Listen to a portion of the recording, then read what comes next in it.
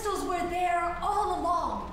But it's only when the sun lifts the water away that the tiny gems choose to reveal themselves.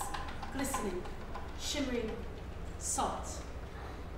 Pa'akai. Pa'akai is the Hawaiian word for salt, which is actually two words, pa'a and kai. Pa'a means that which you hold or that which becomes solid.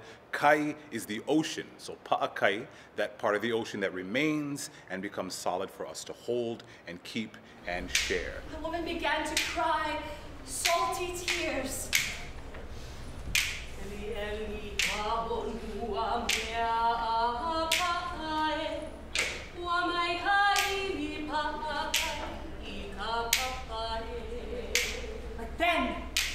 Another woman appeared.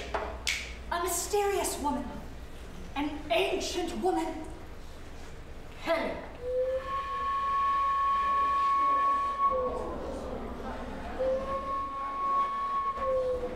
Pele took pity on the woman and taught her a way to preserve the fish so that none would go to waste. In the same way that if you sprinkle a little bit of salt on food, you preserve it, you make it last longer, we as storytellers and theater makers and cultural practitioners preserve stories so that it'll last for future generations.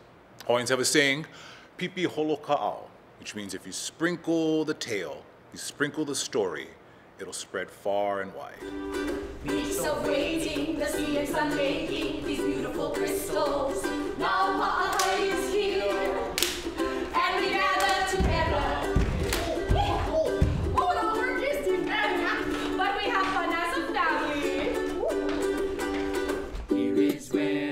transformation happens, the magical salt. From this island, this quilt of patches, each one made by